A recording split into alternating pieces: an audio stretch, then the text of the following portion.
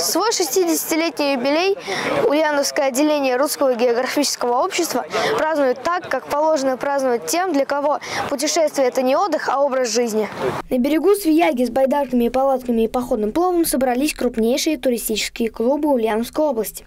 Только отдыхом у костра и песнями под гитару дело не ограничилось. Свой юбилей Ульяновское отделение РГО в этот раз отметило первенством по водному туризму. Побороться за призы от Русского географического общества собрались туристические клубы, команды учебных заведений, крупнейших предприятий области. В гости приехали даже туристы из Димитровграда.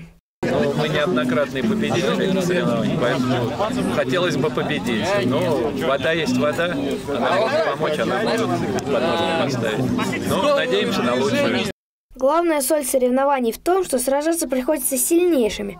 Сам по себе маршрут эстафеты для опытных участников несложный. За их спиной сотни километров пройденного пути. Смотрите, они посетили Саянские горы, Алтайские горы, а, реки Кольского полуострова, Кавказа. А, наши участники, ульяновские именно участники, уже оставили свои следы на полуострове Камчатка.